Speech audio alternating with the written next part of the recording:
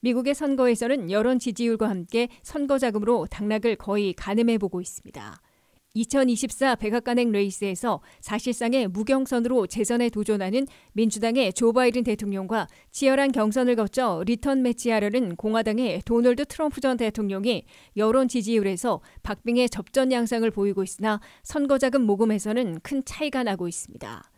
7월부터 9월까지 3분기에 조 바이든 대통령은 선거 자금으로 7,100만 달러나 모금했다고 연방 선거관리위원회에 신고했습니다. 바이든 대통령 측은 2분기와 비슷한 모금 규모이지만 200달러 이하 소액 기부가 급증했다고 밝혔습니다. 200달러 이하 소액 기부자들은 2분기에 전체에서 33%를 차지했으나 3분기에는 49%로 크게 늘어났다고 바이든 캠페인 본부는 강조했습니다.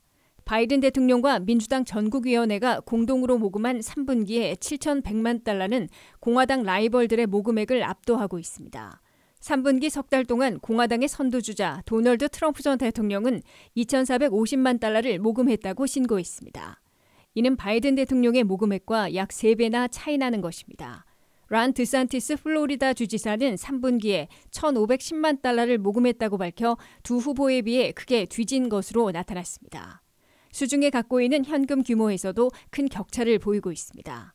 바이든 대통령은 경선전을 사실상 치르지 않고 있기 때문에 지출이 많지 않아 10월을 시작하며 수중에 9,100만 달러나 현금을 보유하고 있다고 신고했습니다.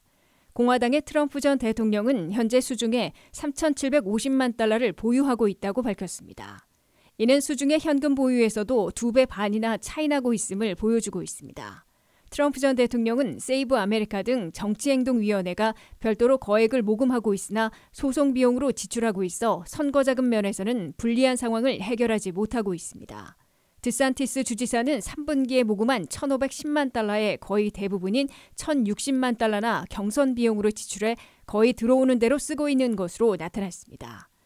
드산티스 주지사 측은 10월을 시작하며 수중에 1230만 달러를 보유하고 있다고 신고했는데 개인 기부 한도를 고려하면 그중 500만 달러만 경선에서 사용할 수 있는 것으로 나타났습니다.